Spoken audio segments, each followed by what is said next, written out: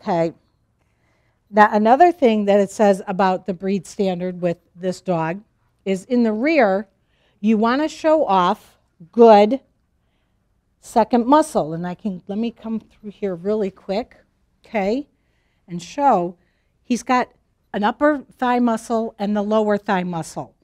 This lower thigh muscle is what you want to show off when you are grooming him. So when we get into grooming, I would pluck down through here a little bit shorter so you can see that this dog is well muscled.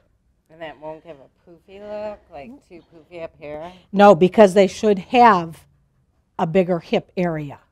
So it tells me, my breed standards, if I should have a bigger hip area, I need to be more on my hips and take a little bit more off the bottom part of my back leg so that he looks like he's well muscled like he should be.